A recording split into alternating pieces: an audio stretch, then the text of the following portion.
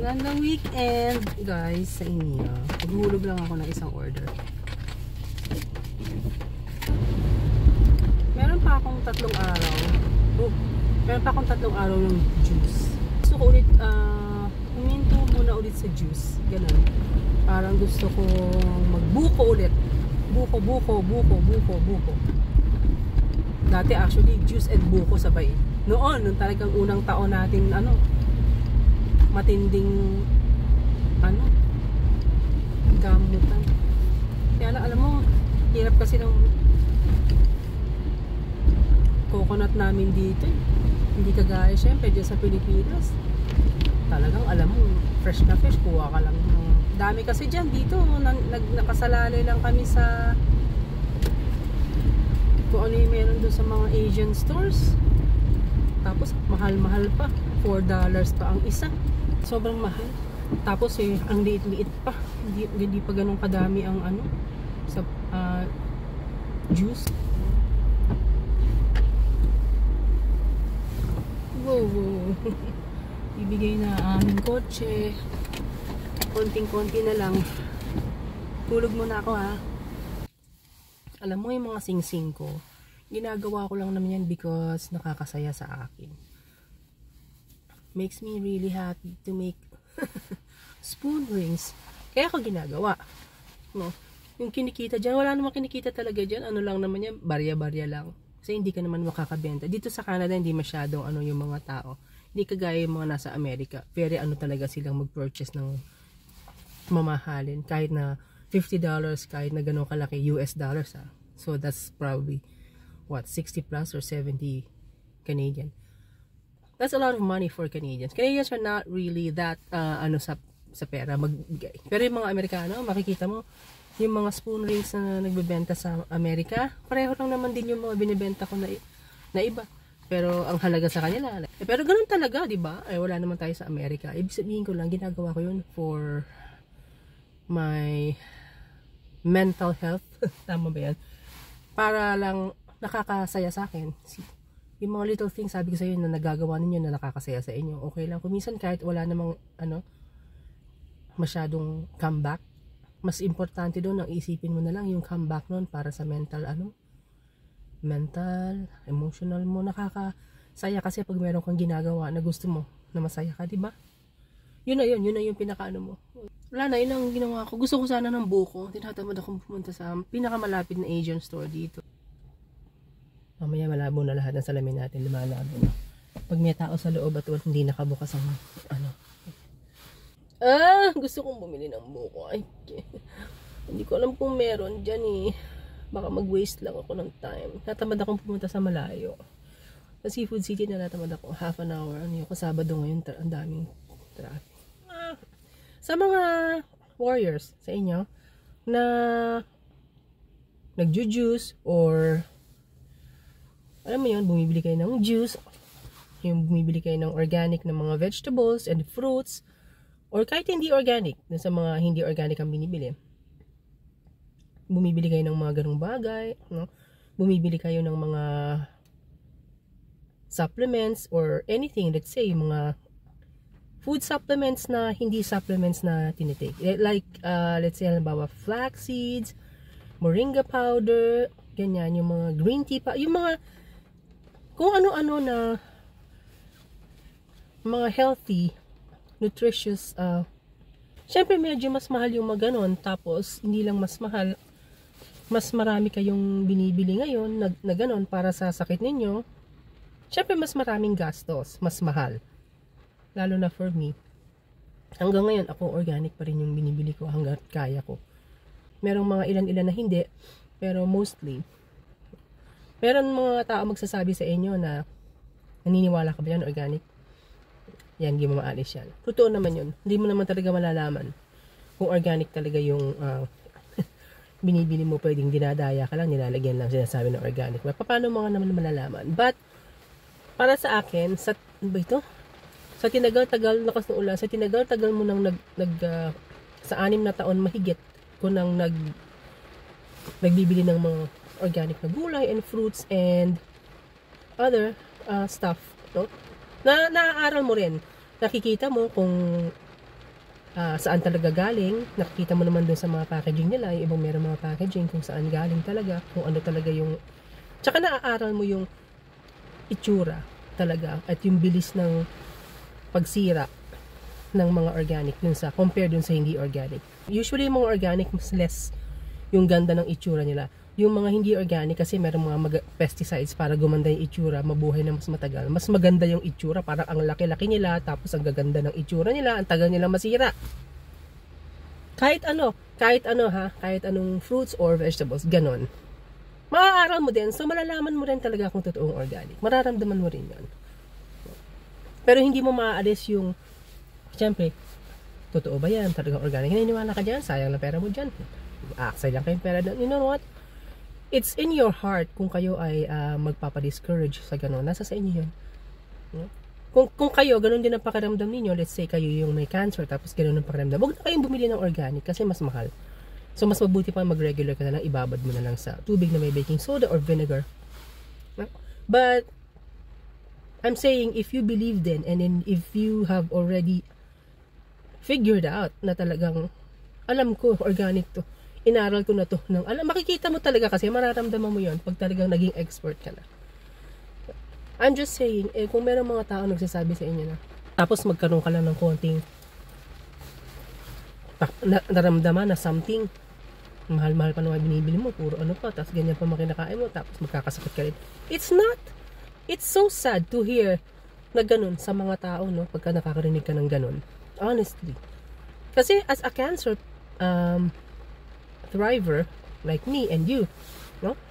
Pinag, alam mo yung pinaghihirapan ng damdamin mo, ng loob mo, ng kalooban mo dun sa dinadaanan mong sakit. Alam mo yung alam mo kung gaano ka-importante sa iyo yung bawat ginagawa mo sa bawat araw. Okay? May it be organic stuff or pagjujuice mo or kahit ano lang, basta lahat ng effort na ginagawa mo para sa sarili mo araw-araw is very important to you. Pero minsan sa ibang tao, they don't really feel that. Kasi hindi naman talaga sila yung may sakit. Alam mo, ganoon naman kasi talaga, hindi ba? Alam naman natin yan. Pagka hindi ikaw yung may sakit, hindi mo talaga naman. Kahit sabihin mong asawa mo o anak mo or kapatid mo or nanay mo o tatay mo, you will never feel the same thing. Yung pakiramdam ng ikaw yung merong sakit, no? Importante, importante sa atin yung mga bagay na yon. Tapos, pag nakarinig ka ng mga ganong bagay, hindi ba? Na-mention ko lang, naisip ko lang. Pumasok sa isip ko and I think it's a good topic to discuss din, no? To, it's um, very hurtful para sa atin makarinig ng ganun. Diba? Parang, parang feeling nila na, oh, ang gastos-gastos mo, ang dami-dami mong ginagastos, mamahalin ng mga ginagastos mo. No? Dapat dyan, mabuhay ka hanggang 80, hanggang 90, kahit may cancer ka, kahit stage 4 cancer ka. Parang ganun ang pakiramdam pag sila ay nagsalita. And that is very um, rude for them to say. I'm sorry, talagang rude talaga. ba? For you to tell a cancer thriver, no? Person na, na ganun, di ba? No. Ang hindi nila naiintindihan doon is yung ginagawa mo na full effort, triple effort sa pagjujus mo, sa pagbibili mo, sa paghuhugas mo, plus pa yung trabaho mo sa bahay, lahat ng ginagawa mo, lalo na kung nanay ka. Mas kung nagtatrabaho ka pa talaga, 'Di ba kasi meron kasi mga may cancer patient, cancer patient. Oh, ayo ayokong tawagin patients eh. Meron kasi mga cancer thrivers na nagtatrabaho pa because they still can, 'di ba? Kagaya ko kung ako pwede ako magtrabaho pa, talaga magtatrabaho pa talaga ako. Ang hirap lang kasi talaga sa akin yung case ko talaga. But ibig sabihin ko, ang dami-dami mong um, iniintindi at inaasikaso lang para lang din i, i mabuhay ka pa sa araw-araw at mai-enjoy mo pa yung uh, bu, uh, araw ano mai-enjoy mo pa yung bawat araw, nakasama mo pa yung mga anak mo, yung pamilya mo, or to do stuff na mga kahit ano lang na magagawa mo pa, ah, basta yung time mo here on earth. 'Di ba? Yun lang. Hindi mo na kailangang antayin na, oh, sa ginagawa kong to, napakarami ko ng ginagastos, puro mga healthy, mamahalin pa. Dapat mabuhay ako ng hanggang 70, hanggang 80. No, that's not the, the right thing to say to us. Di ba? Parang ganun, di ba? Wala ba nagsasabi sa inyo ng mga gano'n? Wala ba kayo naririnig sa mga kamag-anak nyo or sa mga kaibigan nyo, sa mga tao na gano'n, di ba? Yung bawat araw lang na nabubuhay pa tayo, baka binigyan pa tayo ng nadbaw na diagnose ka, binigyan ka pa ng isang taon, dalawang taon, tatlong taon, apat, lima, anim, and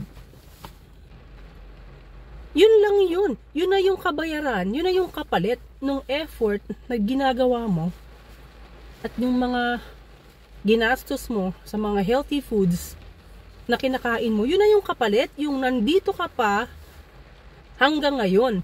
It does not matter if it's 1 year, 2, 3, 4, 5, 6, 7, 8. Yun yung kapalit. Hindi yung para sabihin sa'yo, no, kailangan mabuhay ka niya hanggang 70, hanggang 80 dahil sa kinakain mo. Dapat masulit ka sa dami ng ginastos mo puro health.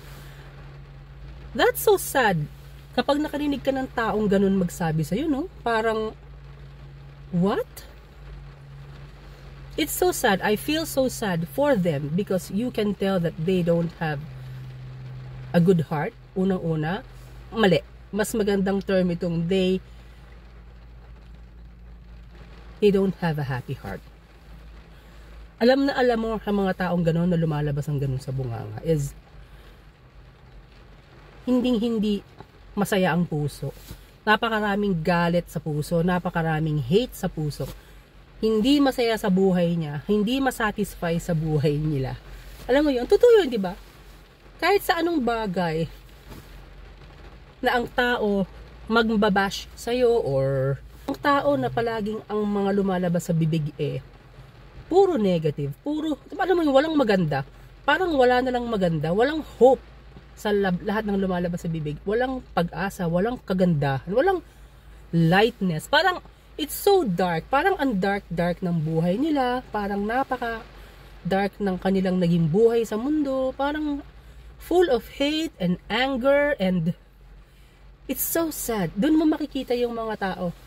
Ang mga tao na palaging halos maganda ang lumalabas sa bibig. Kasi kung ano yung nilalabas mo sa bibig, ha? kahit na hindi alam niyo naman to. Hindi ko na kayo kailangan, hindi na kayo kailangan maniwala sa akin. Alam ko, alam niyo. Ang mga tao na puro maganda ang lumalabas sa bibig, yun yung galing sa puso. Maganda rin ang nilalaman ng puso. Ang mga tao na puro pangit, masama, negative, full of hate, full of anger, ha, ang lumalabas sa bibig, ganun din ang punong-puno ang laman ng kanilang mga puso at kanilang mga buhay. Kaya nakakasad din, no? We pray for them para sa atin, hala, buksan ko lang to para mag Para sa atin na nakakaintindi ng ganun, alam natin na ganun, hindi ba? We just pray for those people, I'm sorry. We pray for them for forgiveness, no? Sa kanilang dark, you know, kind of heart. Yan ang mga tao na mga kailangan natin ipag-pray. Tayo na mga malalapit sa Diyos, tayo na may malaking paniniwala and trust and faith sa ating God. Tayo ang mga magpipray para sa kanila. Isang araw darating na ang si Jesus. Dami-dami na nating signs, ang dami-dami nang nangyayari. Binibigyan pa tayo ng pagkakataon na magbago. Palagi pa rin napopostponed ang pagdating niya sobrang sobra ng dami nating chances, opportunity, ano ba? Ito? Na binibigay sa atin para magbago. Hindi pa rin talaga magbago-bago ang mga tao. Huh? It's so sad. It's really sad. Pero yun nga. So, uh, para sa inyo, para sa inyo lahat, para sa atin lahat, sama tayo, basta tayo meron tayong mga maganda mga puso. let's share, let's give love, let's share love, let's help, you know, let's inspire, let's motivate, let's take care of one another. Yun lang naman ang pinaka-importante I think dito sa mundo. Hanggang nandito ka pa. Make the most of you know, being a nice person and share what you can share. Oh, yun lang, uwi na ako. uwi na ako. Ayun, parang tinatamad akong pumunta dun sa buko. Hindi ko alam kung meron dyan eh. I'm glad I was able to talk to you today Hello lang ako sa inyo. No? So, alam niyo naman yan, bihira na tayo maka-vlog-vlog because wala naman talagang maiba-vlog si Heart. Diba? Wala naman ako nakikita sa inyong nag, nag, nag, nag ano, ng, para mag-discuss ng topic. Sinabi ko na yan before. So, wala naman. So, okay lang naman. Minsan-minsan, hello, highs tayo. And I just wish everyone is doing well sa ginagawa nyo and uh, palaging malakas ang inyong kalooban para i-enjoy ang bawat araw, lalo na sa Warriors.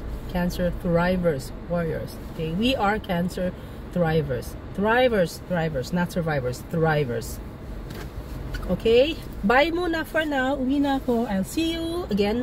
I'm not sure when. But palagi kayo mag-ingat. Hala? Nakainis ng buhok na ito ah. Ay, bumaba na kayo. Teka, paihitin ko muna yung aking likod at wala na akong makita dun sa salamin.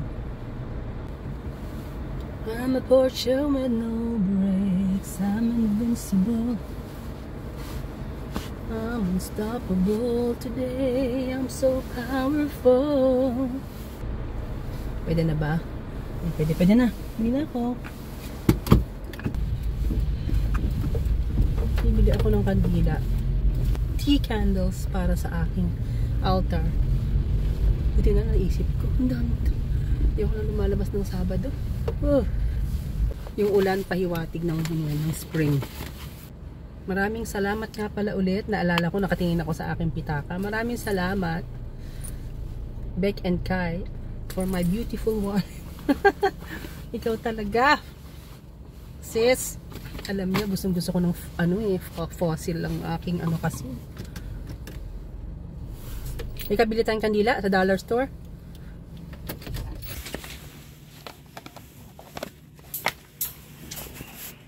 Ito yung mga ginagamit ko kasi sa ano eh. Although marami pa naman ako.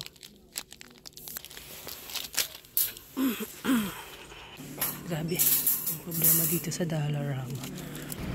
Hindi uso dito ang payong sa Canada. Lapit lang naman to sa 5 minutes lang.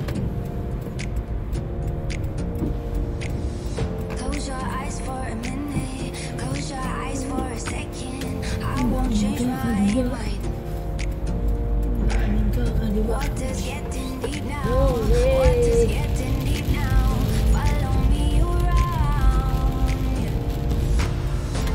Can you let down? Ako, pagka na na, malapit na itong aming kotse. Ilang taon na ba ito sa Suda? Magsi 16 years. Marami na ano. mahirap na. Iba na ang buhay natin kapag wala na tayong sasakyan. Medyo mahirap para sa amin kumuha eh. Kasi, syempre, isa na lang ang nagtatrabaho.